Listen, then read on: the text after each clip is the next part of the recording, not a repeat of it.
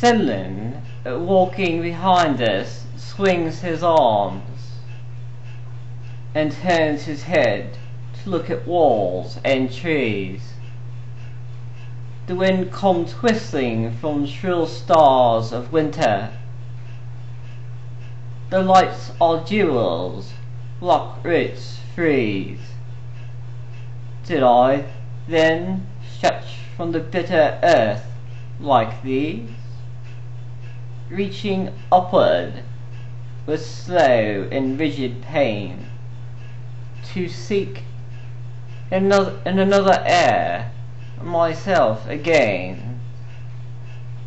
Amidst and solitary in a desert of rocks behold a bewildered oak with white clouds streaming through its leafy brain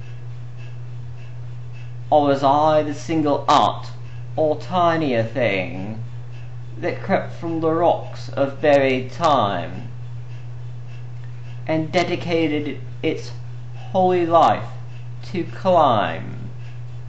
From autumn to beetling autumn, jagged grain to grain, patiently out of the darkness we call sleep, into the hollow gigantic world of light, thinking the sky to be its destined shell hoping to fit it well. The city dissolves about us, and its walls and mountains of rock cruelly carved by wind. Sand streams down their wasting sides. Sand melts upward slowly about them. Foot and hand we crawl and bleed among them. Is this Senlin?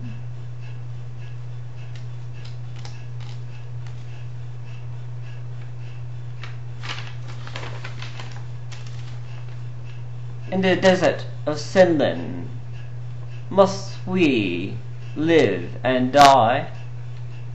We hear the decay of rocks the crash of boulders, snarling of sand on sand. Senlin, we cry. Senlin again. Our shadows revolve in the silence, under the soulless brilliance of blue sky. Yet we would say these are no rocks at all, nor desert of sand here by a city wall. White lights jewel the evening, block roots freeze, and Senlin turns his head to look at trees.